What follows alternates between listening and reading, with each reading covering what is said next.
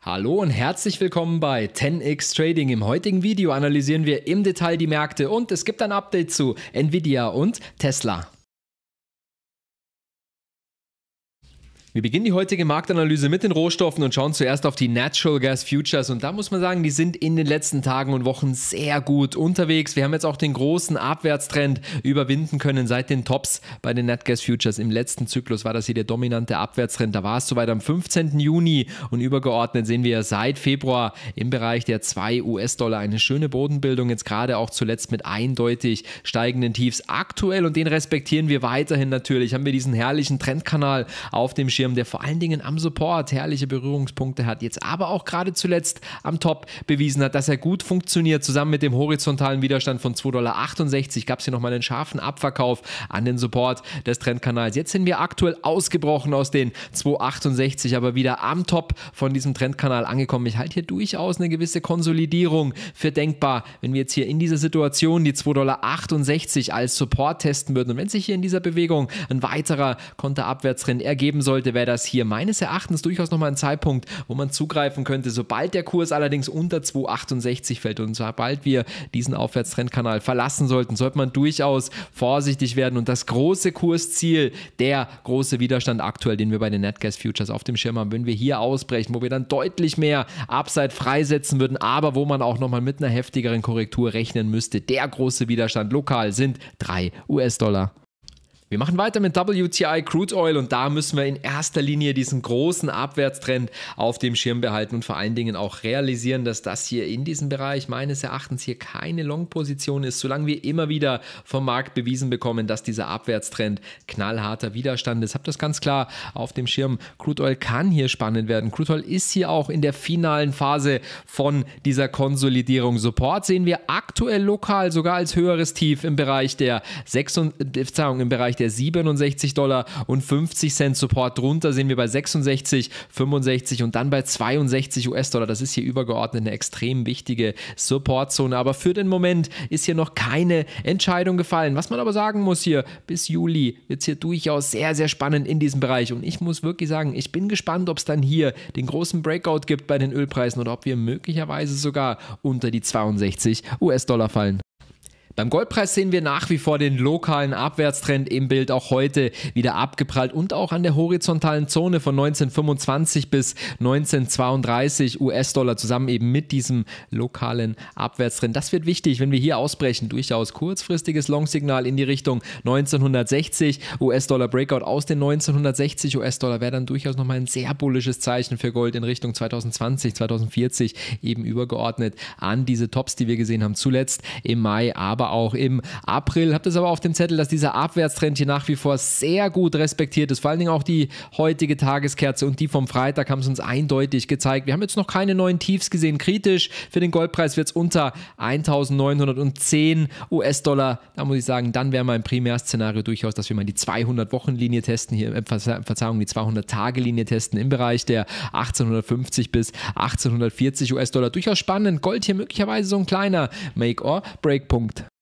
Beim Silberpreis achten wir bitte ganz genau auf die Preisaction jetzt in den kommenden Handelstagen. Das ist nämlich durchaus nicht uninteressant. Wir hatten hier zuletzt einen klaren Impuls zur Downside, dann ein Korrektiv nach oben. Es war durchaus ein schöner Anstieg, aber wir haben den Trendbruch gesehen, was dann nochmal zu einem weiteren Impuls zur Downside geführt hat. Und jetzt versucht sich der Markt hier wieder zu erholen. Ich bin sehr gespannt, ob das jetzt hier die finale Erholung wird, ob der Markt dann wirklich auf der 200-Tage-Linie hier Support findet oder ob dann von hier nochmal ein Abverkauf folgt und wir dann übergeordnet wirklich diesen Aufwärtstrend testen testen. Ein Bruch dieses Aufwärtstrends wäre ein extrem kritisches Signal. Da müssten wir uns dann wirklich mit Kursen nochmal auseinandersetzen beim Silberpreis von unter 20 US-Dollar, möglicherweise sogar dem Support von diesem Trendkanal. Für den Moment haben wir jetzt eine Gegenbewegung beim Silberpreis. Wir können uns auch mal abmessen, wo hier die wichtigen Zonen sind, indem wir hier den letzten Abverkauf uns abmessen. Dann sehen wir hier zwischen 23 US-Dollar und 23 US-Dollar 70 finden wir die aktuelle Golden Zone. Hier muss man dann wieder mit einer Reaktion rechnen und dann wird es spannend. Bekommen wir dann hier einen Doppelboden und der Markt kann sich wirklich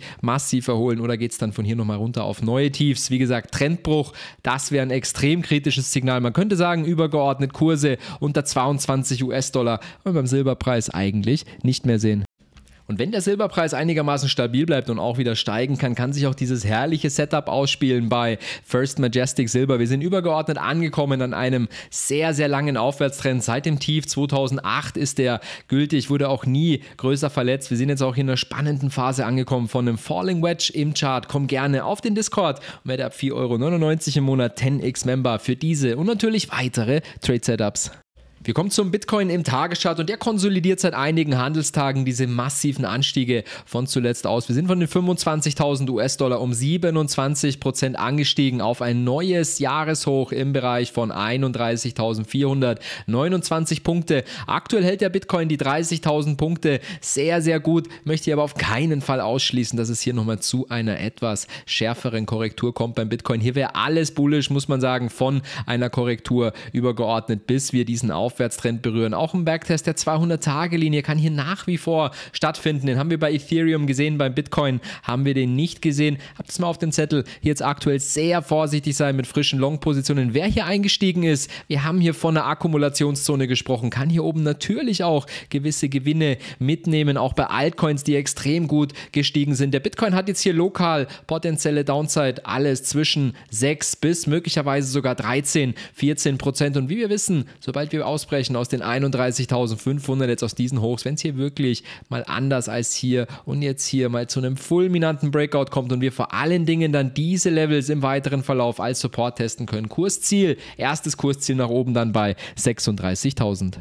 Was wir beim Bitcoin und bei Ethereum definitiv nicht sehen wollen, sind Kurse unter der 200-Tage-Linie. Wir sind bei Ethereum im Tageschart. Wir haben hier diesen herrlichen Trendkanal im Chart. Zuletzt sind wir hier drauf eingegangen am Support zusammen mit der 200-Tage-Linie. Wir waren überverkauft. Kaufe Support, vor allen Dingen, wenn du überverkauft bist. Vor allen Dingen auch Kreuz-Support, Trendkanal-Support und 200-Tage-Linie. Auch bei Ethereum eine schöne Rallye. Nicht ganz so krass wie beim Bitcoin. Ethereum ist um 18,6% gestiegen und das ist jetzt durchaus interessant. Wir holen uns jetzt hier klaren Widerstand ab auch im Tageschart an dieser horizontalen Widerstandszone. Darüber haben wir auch gesprochen. Mein Wunschszenario, muss ich ganz klar sagen, aktuell bei Ethereum wäre wirklich nochmal ein Dip auf diesen Aufwärtstrend, möglicherweise wirklich nochmal ein Doppelboden auf der 200-Tage-Linie. Wird auch dazu passen, dass der Bitcoin dann nochmal ein bisschen runterkommen kann. Hier würde ich meine Position dann nochmal deutlich ausweiten. Kursziel ist und bleibt bei Ethereum für mich 2500 US-Dollar Top des Trendkanals, was ich definitiv nicht sehen möchte und wo ich bei Ethereum auch den Stop ziehen würde, wenn wir einen klaren Bruch bekommen kommen unter die 200-Tage-Linie.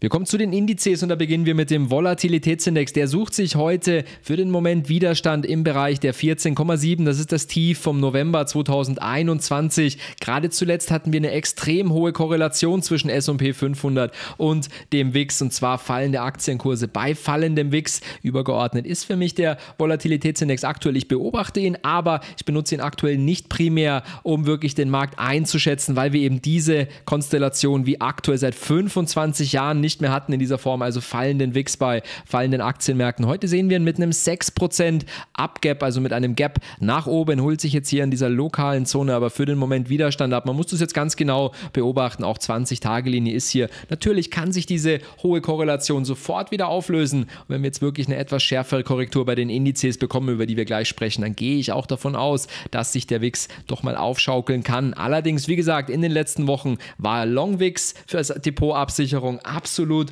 nicht geeignet. Das heißt aber nicht, dass sich dieser Zustand nicht wieder ändern kann. Etwas spannender wird es, wenn wir auf den Volatilitätsindex des Nasdaq schauen, den VXN. Wir haben hier einen übergeordneten Aufwärtstrend seit 2017. Sehen wir beim WIX auf den Nasdaq eher tendenziell steigende Kurse. Wir haben aber immer wieder so kleine Wicks auch drunter erlebt. Ein ähnliches haben wir heute erlebt und das ist durchaus beeindruckend. Man muss jetzt hier aber genau schauen, wie es hier weitergeht. Wir hatten heute einen VXN kurzzeitig mal im Bereich der 13,6 und von diesem Intraday-Tief ist er jetzt bereits 49 Prozent angestiegen. Nicht überbewertet bewerten. Wir hatten immer wieder diese massiven Wicks, die haben im weiteren Verlauf dann aber auch nicht dazu geführt, dass der Wix auf den Nasdaq jetzt hier massiv ausgebrochen ist. Durchaus im Blick behalten tun wir es aber schon, dass wir heute einen kleinen Dip unter diesen übergeordneten Aufwärtstrend gesehen haben, der gekauft wurde im Wix und natürlich Nasdaq gerade ein Markt, der aktuell durchaus korrekturgefährdet ist, weil er extrem stark gestiegen ist zuletzt. Wenn sich der Wix hier aufschaukeln sollte oder der VXN, besser gesagt auf den Nasdaq in dem Bereich der 200-Tage-Linie, wie wir es zum Beispiel gesehen haben im März, bedeutet das natürlich vor allen Dingen auch im Nasdaq eine Korrektur.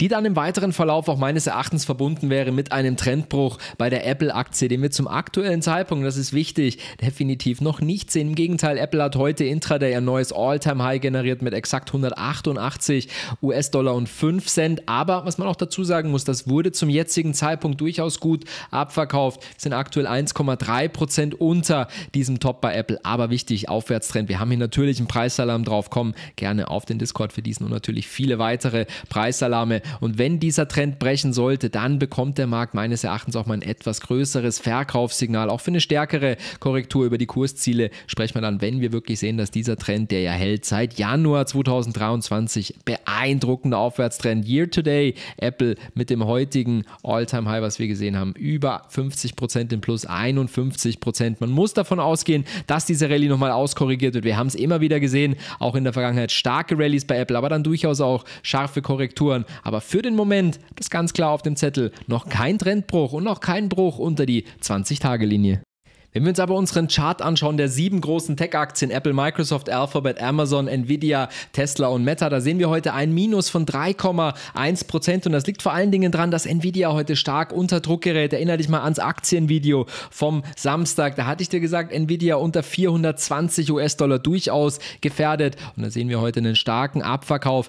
Die Big Tech oder die Fang-Aktien, wenn man so möchte, sind jetzt exakt angekommen an der 20-Tage-Linie, nachdem sie sich seit Jahresbeginn im Schnitt verdoppelt haben, dieser Korb aus den sieben Aktien. Exakt 100% Performance. Und genau hier bei diesem Verdoppler sehen wir jetzt eben die erste ernstzunehmende Schwäche seit, man muss sagen, seit 18. April. Wir waren danach nochmal hier in der Korrektur. Dann ging dieser Chart nochmal senkrecht nach oben, sogar mit einem massiven Gap nach oben. Und das müssen wir jetzt eben ganz genau beobachten. Derzeit an der 20-Tage-Linie der Chart der sieben großen Tech-Aktien. Wir wissen, das ist der Chart, der den Markt zuletzt getragen hat. Und natürlich würde hier eine etwas stärkere Korrektur Korrektur auch am Gesamtmarkt S&P 500 und Nasdaq eine Korrektur bedeuten. Wir schauen noch eben auf Nvidia und erinnern uns mal ans Video vom Samstag. Wir haben über den übergeordneten Abwärtstrend hier gesprochen, seit dem Top am Dienstag vergangener Woche. Und jetzt sehen wir, dass sich dieser Abverkauf beschleunigt unter 420 US-Dollar. Das war hier dieses erste All-Time-High. Danach gab es eine Korrektur, Breakout. Und das hat der Markt hier versucht zu halten als Support. Verabschiedet sich jetzt hier aber nach unten. Wir sind jetzt auch durch die 50er-Linie gebrochen. Das ist hier der 4-Stunden-Chart, der nächste wichtige Support. Wir sehen, hier geht es relativ ruckartig rauf und runter. Wir sind jetzt aktuell hier möglicherweise an diesem Zwischenhoch angekommen bei 400 US-Dollar. Der Markt versucht dieses Level zu halten. Wenn wir da drunter brechen, habt die 375 US-Dollar auf dem Schirm. Das war hier zwischendrin wichtiger Support. Und dann ist der 4-Stunden-Chart, der jetzt bereits fast überverkauft ist. Wenn es jetzt hier nochmal einen Rutsch geben sollte in den Bereich um die 375 US-Dollar, wäre der 4-Stunden-Chart stark überverkauft und man müsste hier mit einer Gegenbewegung rechnen, nochmal in den Bereich des großen Abwärtstrends. Ich möchte aber auch ganz klar darauf hinweisen, diesen Trend nehme ich jetzt durchaus ernst. Wir haben ja auch einen Preisalarm drauf, da muss Nvidia definitiv ausbrechen, um die Chance zu bekommen, wieder neue Höchststände anzulaufen. Ansonsten haben wir möglicherweise auch in einer etwas stärkeren Gesamtmarktkorrektur einen Backtest auf dem Schirm des alten Alltime-Highs und das wären in etwa 346 US-Dollar. Für mehr Aktienanalysen und Trade-Ideen komm sehr gerne auf den Discord und werde 10x-Member. Dort kannst du dich mit über 350 Mitgliedern austauschen und profitierst ab 4,99 Euro im Monat von meinen täglichen Markt- und Aktienanalysen. Und auch bei Tesla sehen wir heute einen etwas stärkeren Abverkauf und hier ist jetzt auch durchaus Vorsicht geboten. Wir haben heute nochmal Höchststände abgeholt, Intraday von 258 US-Dollar und die aktuelle Kerze ist zum jetzigen Zeitpunkt ca. 6% unter diesen Kursen. Im 4-Stunden-Chart kann man hier möglicherweise auch eine Schulter, Kopf-Schulter-Formation erkennen. Was wir auch sehen, ist der Trendbruch jetzt von diesem extrem steilen Aufwärtstrend und wir wissen auch, wir haben hier erster Impuls, Bullenfahne, zweiter Impuls. Wir haben hier oben das Kursziel abgeholt. Das ist ist jetzt völlig normal, dass Tesla korrigiert. Ist auch absolut nichts Besorgniserregendes. Was allerdings ein bisschen kritischer werden würde, und dazu zoomen wir mal kurz raus bei Tesla, wo wir sie meines Erachtens nicht mehr drunter sehen wollen. Keine Kurse unter 200 ja, diese Zone zwischen 237 und 233 US-Dollar. Hier ist wichtiger Kreuzsupport. Hier ist der ehemalige Widerstand, bevor wir dann in diese Kapitulation gegangen sind. Hier ist auch die 20-Tage-Linie. Und hier ist vor allen Dingen dieser für mich durchaus wichtige Trend, der immer wieder als Support gehalten hat. Als wir drunter gebrochen sind, gab es die Kapitulation, danach nochmal abgeprallt. Und als wir ausgebrochen sind, ging es hier nochmal senkrecht nach oben. Den darf die Tesla-Aktie sehr, sehr gerne halten. Ansonsten müsste man im Zweifelsfall hier mit einer stärkeren Korrektur rechnen. Hab mal, wenn du bei Tesla investiert bist auf dem Schirm unter 200 32 US-Dollar wollen wir die Aktie nicht mehr sehen. Wir kommen zum S&P 500, den schauen wir uns im 4-Stunden-Chart an. Seit dem Tief im März der Korrektur, da waren wir auch am Boden angekommen von dem Trendkanal, zu dem ich gleich noch ein paar Worte sagen werde. Wir sind jetzt für den Moment bullisch ausgebrochen aus diesem Trendkanal, sind jetzt hier seit dem Top bei 4.446 Punkten in einem lokalen Konterabwärtstrend, in einem völlig intakten Aufwärtstrend und intakter Aufwärtstrend ist auch das Stichwort. Der S&P 500 darf uns meines Erachtens nicht unter diese wichtige Aufwärtstrendlinie brechen und die trifft sich hier aktuell mit der 200er Linie im 4-Stunden-Chart mit dem Top des Trendkanals. Eben hier eine extrem wichtige Clusterzone aus Kreuzsupport und eben dieser wichtige Aufwärtstrend. Wenn wir da drunter brechen, muss ich ganz klar sagen, Kursziel Nummer 1 4150, aber auch Herzlinie in diesem Trendkanal hat auch schon mal zuvor gehalten als Support, aber auch die 4000 Punkte würde ich ab diesem Zeitpunkt nicht mehr ausschließen. Dann müssten wir uns wirklich mit einer härteren Korrektur auseinandersetzen, wo man dann vor allen Dingen auch im Tageschart schauen müsste, wo ist der S&P 500 dann möglicherweise auch mal überverkauft verkauft. Und das kann dann durchaus zur Downside etwas schmerzhafter werden. Habt diesen Abwärtstrend auf dem Schirm. Sobald der SP 500 hier in dieser Situation ausbrechen sollte, ist das meines Erachtens nochmal ein Long-Signal in die Bereiche 4400 bis möglicherweise sogar nochmal 4440 Punkte. Das haben wir aber zum jetzigen Zeitpunkt noch nicht. Dieses Long-Signal, dieser Abwärtstrend ist derzeit noch bestens intakt. Lokal nächster potenzieller Support im Bereich der 4314 Punkte und drunter ganz wichtig, diese Support Zeitzone zwischen 4000 290 und 4260 Punkte. Das hier ist sehr, sehr wichtiger und kritischer Kreuzsupport. Und jetzt schauen wir uns mal diesen Trendkanal nochmal etwas im Detail an. Ich finde den sehr signifikant und weil gestern auch in dem Video ein Kommentar drunter war, dass man diesen Trendkanal nochmal erklärt haben möchte. Ich finde den sehr, sehr gut. Wir kommen hier von dem Corona-Crash, erster massiver Anstieg, dann hier das erste Mal das Top in diesem Trendkanal runter auf den Support, nochmal runter auf den Support. Danach gab es hier den Breakout, mehrfach gebacktestet, das Top von dieser Range und danach hier noch ein weiteres Mal gebacktestet und danach die massive Rallye. Und im Jahr 2022 war es im erweiterten Bild dieser Trendkanal, diese Range, die hier diesen ersten massiven Anstieg eingefangen hat, ausgependelt hat, bevor wir dann ausgebrochen sind. Und da haben wir sozusagen den Abverkauf 2022 ausgependelt. Es gab eine Übertreibung nach oben, eine Übertreibung nach unten und letzten Endes dann hier aber drei perfekte Berührungspunkte. Einmal im Juni, dann gab es hier das 52-Wochen-Tief im Oktober, aber dann hier gerade zum Jahreswechsel und im März perfekter Support, aber auch Widerstand. Nach dem August-Top gab es hier nochmal eine kleine Gegenbewegung, die zum Widerstand Widerstand wurde, beziehungsweise wo das Top des Trendkanals hier zum Widerstand wurde und hier gerade zuletzt im Februar Punktlandung am Widerstand. Aktuell gab es ja auch einen Kampf um das Top von diesem Trendkanal. Jetzt sind wir für den Moment ausgebrochen und die große Frage, die sich eben stellt, und das ist dann eben so spannend, wenn wir hier zurückbrechen in diesen Trendkanal, können wir alles sehen. Herzlinie, Support, keine Frage. Wenn wir aber diesen Trendkanal jetzt im erweiterten Umfeld als Support testen, legen wir uns das Fibonacci drüber, der gesamten Downside, dann testen wir hier mit diesem Top des Trendkanals Kanals die Golden Pocket als Support und haben ein sehr ähnliches Setup, wie wir es damals gesehen haben zum Jahreswechsel 2020, 2021. Ich muss sagen, ich halte diesen Trendkanal für sehr, sehr kritisch. Er hat uns auch herrliche Einstiegszeitpunkte geliefert. Und ich muss sagen, jetzt gerade hier in diesem Umfeld bin ich sehr gespannt, wie sich's ausspielen wird. Wenn dir das Video Mehrwert bietet, lass sehr gern deinen Like da, dass es der YouTube-Algorithmus möglichst vielen Leuten empfiehlt und abonniere auch den Kanal, dass du jetzt in dieser wichtigen Marktphase nichts mehr verpasst.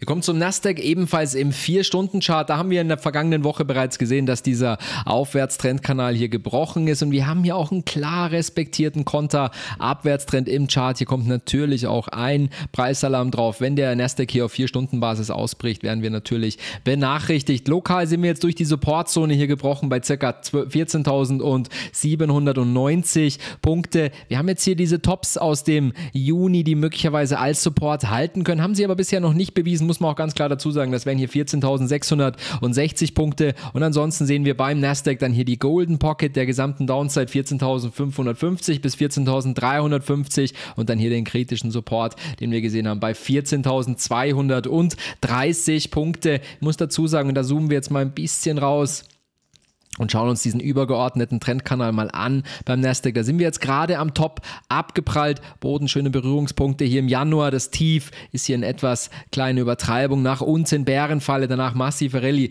Man muss sagen, der hätte hier durchaus viel Platz zur Downside, wobei aktuell nicht mein Primärszenario ist, dass wir hier wirklich bis an den Support des Trendkanals korrigieren. Wenn wir uns das nämlich mal genau anschauen, wurde hier monatelang die Herzlinie als Widerstand respektiert und die kann dann durchaus, was zuvor monatelang Widerstand war, kann hier zum Support werden. Und das wäre eben hier eine Fortsetzung der Korrektur vom Nasdaq in den Bereich zwischen 14.180, 14.200 eben hier in dieser Clusterzone. Und auch beim Nasdaq würden wir dann eben möglicherweise die Golden Pocket der Downside als Support testen. Das wäre durchaus bullish für weitere Upside beim Nasdaq. Kritisch für mehr Downside muss man aber ganz klar dazu sagen, ist ein Bruch unter die 14.200 Punkte. Da wird man dann auf die 13.600 schauen und möglicherweise hier auf die 13.000. Ist aktuell aber nicht Primärszenario. Ich muss aber auch dazu sagen, für den Moment ist das ja durchaus eine Korrektur, die noch im Gange ist. Und wenn wir uns jetzt hier mal von diesem letzten Anstieg die Golden Zone anschauen, dann sehen wir, dass wir gerade jetzt beim 50er Fibonacci sind und da hätten wir dann die Golden Pocket bei ca. 14.600. Da müsste man dann durchaus mal genauer hinschauen, ob der Markt hier etwas stärker reagiert in diesem Bereich für einen Bounce an diesen übergeordneten Abwärtstrend. Von hier könnte sich der Abverkauf dann aber definitiv nochmal beschleunigen. Wichtig, Nasdaq aktuell lokal im Abwärtstrend für ein Long Signal meines Erachtens müssen wir hier ausbrechen. Spannend finde ich, dass wir beim Russell heute eine kleine Gegenbewegung sehen und zwar wir kommen zum DAX im 4-Stunden-Chart und hier seht ihr ein Trade-Setup eingezeichnet. Ich habe das durchaus spannend gefunden heute und komm gerne auf den Discord und werde 10x-Member für die täglichen Markt- und Aktienanalysen. Wir haben hier eine lokale Support-Zone, dann haben wir auch gestern im Marktbriefing darüber gesprochen und heute gab es eben nochmal einen Dip-Kauf in dieser Zone. Ich schaue mir aber definitiv keine Kurse. Eigentlich möchte ich schon keine neuen Tiefs mehr sehen im 4-Stunden-Chart. Kurse unter 15.650 sollte man meines Erachtens hier ausstoppen, weil wir dann sehen, dass hier sehr, sehr wenig Support zur Downside da ist. Finde es aber dennoch nicht uninteressant, erinnert mich ein bisschen an die Struktur, die wir gesehen haben im Mai, Impuls zur Downside. Man muss sich jetzt mit dem Gedanken auseinandersetzen, dass wir hier potenziell, falls es hier zum Breakout kommt aus diesem Abwärtsrennen, was wir noch nicht gesehen haben, ganz wichtig, ein Korrektiv nach oben traden, kann durchaus danach nochmal runterkommen, bevor es dann, wie wir es hier gesehen haben, eine Impulswelle nach oben gibt. Das heißt, wenn wir hier den Breakout bekommen, sollte man durchaus relativ flott sein mit den Gewinnmitnahmen hier im Bereich von 16.080 Punkten in dieser Widerstandszone. Können wir dann durchaus Gewinne rausnehmen, Stop hinterherziehen. Dennoch dennoch fand ich das hier kein uninteressantes Setup. Der RSI war überverkauft im 4-Stunden-Chart zuletzt. Auch eine gewisse bullische Divergenz, weiter fallende Kurse bei bereits sich entspannendem Momentum. Im 4-Stunden-Chart ist nicht uninteressant, muss sich jetzt nicht in einer massiven Rallye ausspielen. Keine Frage, war ein Impuls zur Downside, kann auch nur ein müder korrektiver Gegenimpuls werden. Aber wie gesagt, nicht uninteressant. Breakout hat noch nicht stattgefunden, aber wenn er stattfindet, durchaus eine Long-Gelegenheit in die Richtung 16.020 bis 16.080. Abschließend schauen wir noch nach China. Da ist heute der erste Handelstag nach dem Drachenbootfest und die Chinesen stemmen sich jetzt erstmal ein bisschen gegen diesen Abverkauf der letzten Handelstage. Heute plus 0,4 Prozent im Hang Seng. Wir wissen aber, wie volatil der sein kann und vor allen Dingen, wie er durchziehen kann, wenn es hier wirklich bullisch wird. Für mich aktuell ein kleiner korrektiver Gegenimpuls. Kann hier durchaus nochmal runterkommen in den Bereich 18.000 Punkte drunter. Wenn wir den Hang Seng nicht sehen, möchte ich ihm nicht aussprechen, dass er hier noch einen kleinen Fakeout drunter zeigen kann. Aber unter dieser Zone von 17.700 17.700 bis 18.000 Punkte möchte ich ihn definitiv nicht sehen. Ansonsten haben wir erst wieder Supports im Bereich 16.8 bis potenziell dann sogar 15.2 beim Hang Seng Index. Aber dennoch gefällt mir diese Struktur. Ihr wisst das seit einigen Wochen sehr, sehr gut. Wichtiger Support bei den 18.000. Wir haben ihn zuletzt getestet. Glaubt da noch nicht so richtig. Der Markt kommt nochmal zurück. Doppelboden in diesem Bereich. Äh, für mich nochmal ein herrlicher Nachkaufzeitpunkt. Widerstände sehen wir im Bereich 20.250 bis 20.900 Punkte. Wenn wir hier ausbrechen, 22.500 ist dann das Top, die Nackenzone von dieser inversen Schulter-Kopf-Schulterformation hat China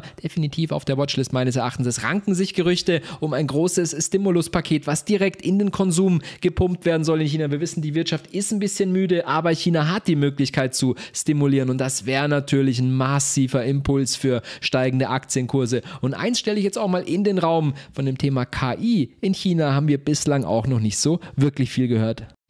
Und auch PayPal darf im heutigen Video natürlich nicht fehlen und die Aktie hält sich wieder erstaunlich gut, minus 0,45 Prozent und wir testen jetzt aktuell dieses Tief aus dem Dezember hier möglicherweise als Support. Ich muss aber auch ganz klar dazu sagen, die PayPal-Aktie hätte hier noch etwas mehr Downside und zwar in den Bereich um circa 3,5 Prozent in dem Bereich zwischen 65 und 66 US-Dollar. Wir haben hier übergeordnet seit dem 52-Wochen-Tief einen sehr schön respektierten Aufwärtstrend und vor allen Dingen auch die 20-Tage-Linie, die sich jetzt hier deutlich nach oben krümmt. Und das können wir hier auf jeden Fall als Support antesten, nur um danach wieder massiv zu steigen. Breakout aus 69 US-Dollar, ein sehr bullisches Signal. Lokal noch die 71 Dollar auf dem Schirm behalten und dann die 200-Tage-Linie bei 76 US-Dollar, wo wir PayPal meines Erachtens definitiv nicht mehr drunter sehen wollen, ist mit Tagesschlusskursen unter der 20-Tage-Linie. Das hat hier auch gerade zuletzt in dem ersten Dip nach den 52 Wochen tief sehr, sehr gut gehalten. Keine Tagesschlusskurse bei PayPal unter